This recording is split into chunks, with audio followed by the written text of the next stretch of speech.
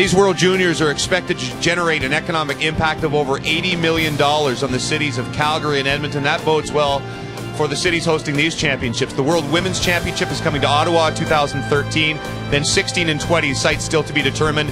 And the World Juniors goes to Europe for a couple of years, then is back in Canada 2015, 2017, 2019, 2021. Joined now by the president of the International Ice Hockey Federation, Mr. Rene Fasel. Ultimately, the NHL and the NHLPA will decide if their players go to the Olympics, Sochi in 2014. Are you confident they'll be at the games from what you know right now? Yes, I am. But uh, as I said always, you know, our door is wide open, and at the end, the PA and the NHL have to decide if they come or not. What would you say to Gary Bettman about uh, this? Gary doesn't like when I said uh, when I say I'm confident, but uh, I think they will be there because they're this for hockey, and I hope they will be there. The IIHF has adopted a real hard line on headshots. Do you feel like the message has gotten through to the players?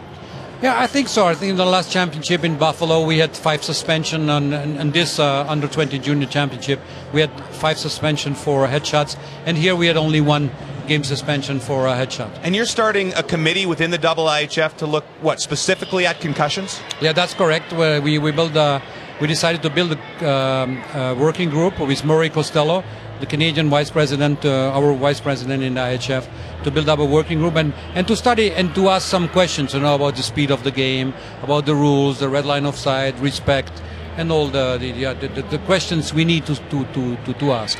How do you reconcile that the success this tournament has every time it's in Canada or on the border of Canada with the need to grow the game internationally and still to have it in European countries? Uh, just a respect also for some other federation that would like to organize this event. Uh, I, am confident that in Russia it will work. Uh, Russia is a, is a, great hockey country. Ufa is a great place to go. They were a KHL champion last year. We will have a base of hockey fans there. For sure, it, it will not be like we have here in, in, in Alberta. But in two years in Sweden, uh, I can expect that we also have a lot of fans there. But financially, it makes a mint every time it's here, and then you struggle a little bit over there, correct? Yeah, for sure. Uh, but you know, we we uh, Sweden and Finland will organize the next World Championship, Senior World Championship.